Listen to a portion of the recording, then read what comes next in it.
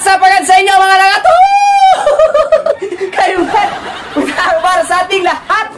For today's video mga kalabatin is Magtutos tayo ngayon mga sa mga kalabati nating panlaban na sa Amerika sa ganun makatutunan silang lumipat at manawas sa training pack sa ganun matutunan silang bumalik dito sa ating lock. Kaya kung gusto nyo kami samahan ngayong araw, tara!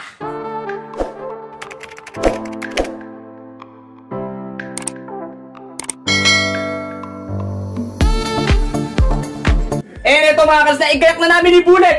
Yung mga kalapati natin, totally wala ng laman to, zero balance. Ayan. So, bali pangalawang toss na namin to. So, ito yung video nung una naming toss. Malapit pa lang. So, ngayon, medyo mas malayo na ng konti. So, second toss natin, mga kalaps, ano, habang binababa namin to sa tricycle.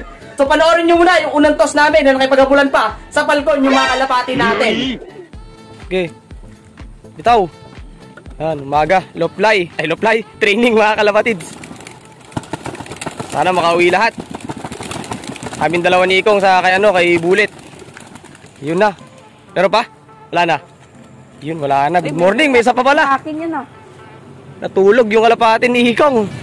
Ah, meron pa. Siya, yung unang toss natin. So, malapit lang muna. Tulog. Isa yan eh. Oh. Relax naman lumipad. Oh.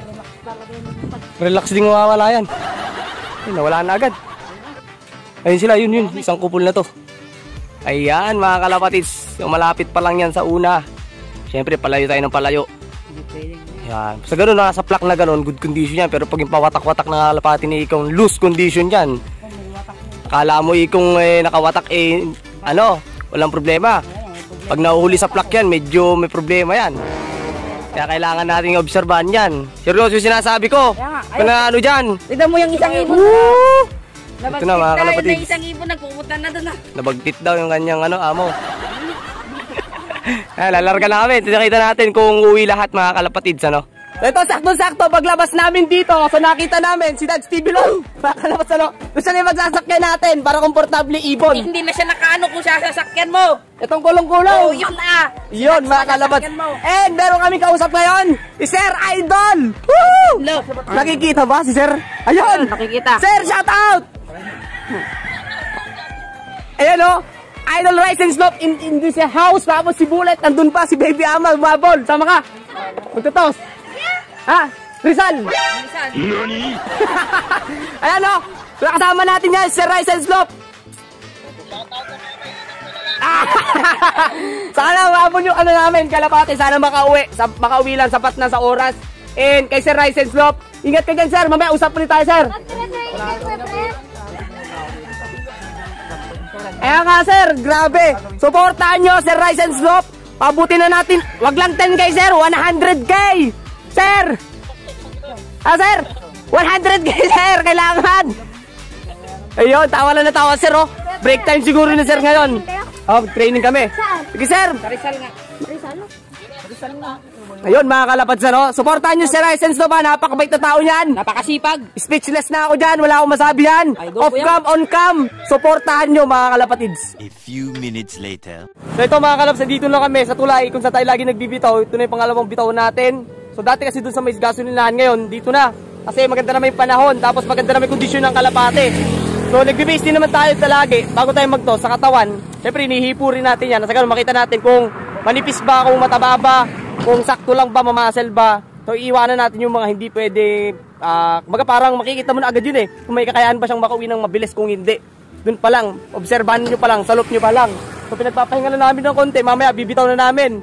And then susunod na toss natin, medyo mas lalayuan na natin ng konti para makahabol tayo. 1 minute 37 seconds later. So ito mga kalabas na sa natin, and nakalagay natin yung kay Bugoy, yung kay Ikong, so yung sa'yo bulit wala.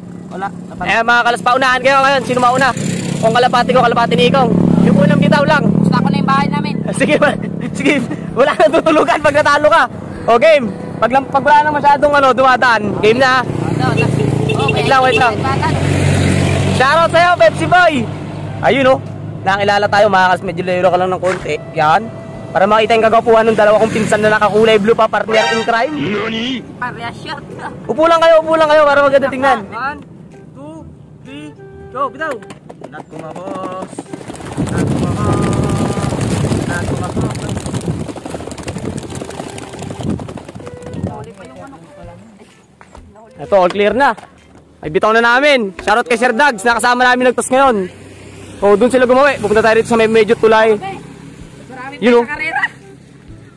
Ayun, mga kalabsit tayo nang sa ganun makitang kita. Yung tip ko. So, dito sila sa gawi dito, mga kalapats. Ito, to, to, to, lalabas na. Yun, oh. So, medyo makapal kasi kasama yung kay Ikong sa isang kalapati ni Bugoy. Makakawi kayo sa Bugoy. Sigurado na, nagbaubo na. Ikaw, makakawi ka kaya? wala naman agad. Ayun. Ito, pangat sila. Yun, yun, yun. Eh, wala na yun. Sumibat na yun. Magaling yun. Eh, may bumili na isa yun, oh. Medyo malayo na siya. So, magaling yun. Mga kasano, hindi siya sumasama sa plak. Rekta uwi. Ito naman yung sa atin lahat, oh. Kumpulan. So, mahigit, ano yan, mahigit 30. Sana kayanin nilang umuwi sa ganda ng panahon ngayon, saka sa ganda ng kondisyon ng mga kalapate. Ewan ko lang yung kondisyon sa kanila. Okay yan. Pero okay naman. Okay, Bugoy, okay naman kasi may motivate. Sana hopefully, kayanin nila. Sa ganun, mamaya or bukas, makapag-toss tayo ng mas maganda. Pero tignan natin, siyempre, lagi sabi ko nga sa inyo, kung maganda ba uwi nila, kung sakto ba yung kondisyon ng mga kalapati natin. Kasi under cleansing program pa rin tayo ngayon. Kasi mga 3 to 5 days natin sinasagawa yun. And after nun, flashing canker na tayo mga kalapatids. So lalarga na rin kami kasi wala na. Andun na sila gawin mga kalapsan. Sa ganun maabutan natin arrival nila. Kasi binitaw namin yung kalapate ng, ng 950 mga kalapatids ano. So binitaw namin ng 950 mga kalaps. Tingnan natin kung ilang minuto nilang lilipa rin. Baka maunahan pa nga kami. So sana walang madisgrasya, walang maaksidente. So para maayos silang makauwi mga kalapatids. Many, many minutes later. So ito mga kalas, kararating lang namin. So dito naman yung mga kalapati natin. So bigyan na naman natin sila ng ano nila ng ah, reward. Kasi mabibili sila ngayon. Kaya lang malapit pa kasi. Siguro tingnan natin kung kaya pa nila mamayang hapon. Kaya bukas, pag maganda pa rin panahon, doon na tayo sa may packet ng bundok, doon sa may lagi natin binagbibitawan bago tayo pumunta ng ah, kabilang bundok. So dito na sila at bibilangin lang natin. Kay Ikong siguro dito na rin naman lahat. Nakapasok na tayo iba. Kasi sa akin sinarado ko yung trapdoor. Para makikita ko kung um, abibilang ko kung ilan yung muwi. Kaya lang problema, ano sabay-sabay naman kasi sila, kaya okay lang. So ngayon maglilinis na ako ng konti kasi di ako nakapaglinis kanina. So bago natin sila papasukin. Many, many minutes later. So ito mga kalabs, all clear na tayo dito. So nakapaglinis na ako dyan, hanggang dito, hanggang dyan, and hanggang doon mga kalabs, mga purchase natin. So niready ko na rin yung patuka. So meron tayo ngayon ano, powder mix, ayan. Ah, gamit nung uh, snare sa atin ni Bro Gio Danyo na Pectoscope sa nagpunta tayo dati sa Cavite. So yan yung ginagamit pa rin natin hanggang ngayon. Na ginamit din natin kay Nugnog mga kalabasan yung mixture na yon. Saka yung ibang mga gamit na pampainom, gando ganyan, etc. So sinare ko na sa inyo yan. So ngayon bubuksan na natin to. Titingnan nyo kung paano magbara yung aking trapdoor mga kalabasan no, kapag tinawagan natin at pinapasok natin itong mga kalapati natin. Alright, syempre hindi pa yung makakapasok kasi meron pa nito. Pero tatanggalin natin yan. So witness natin, mga nakasilip dito, si Ikong, si Dag, saka si Bugoy mga kalos. So dito pa pala yung kalapati ni Bugoy. So pag natagit ko Bugoy, akin na. hindi ah. Pero pag natagit mo sa akin, sa'yo na. Ayun, very good. Yan yung gusto ko kay Bugoy. Dapat um, ma- marunong tayong um, tawag ko, sumispeto sa kapwa nating pansira no Bugoy. Bata man o matanda no, kalbo man o hindi ano.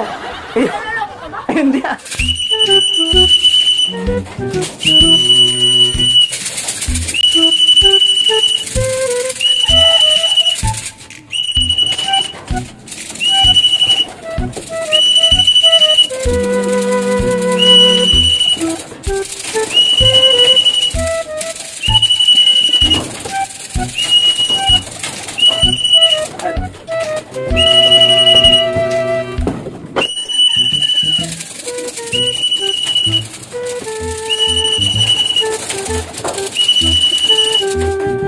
So ito mga kalabas na so after nila kumain at uminom, ayan. So papahingayin natin muna sila hanggang mamayang hapon mga kalabas and then para sa ganun. Pero sobrang lapit yan. Ayan, good na good yung condition nila mga kalabas na hindi lang yan halos na ginapagod. So parang mas mabilis pa nga yung lipad nila kaysa sa low fly na ginagawa nila. Araw-araw mga kalabas. Ito yung pampupuling natin oh. Maitlog. Tapos yung isa yung entry ni DJ. So nandun nga lang sa aviary, nasa labas, nagpapaaraw. So yun yung gagawin natin pampuling, puling. Sa ganun, may motivation. Ito, pwede rin, oh. Magpapares na itong isa. Pwede na tayo maglagay ng itlugan dyan. And ito rin, entry ni Sir Buraot King, may kapares na rin. Pwede na rin natin yan. Yung kak, pwede natin panlaban yan. Mga kasi, obserbahin lang natin yung mga galaw nila, mga kilos, and mga kondisyon. Tignan natin kung ano yung pampupuling natin.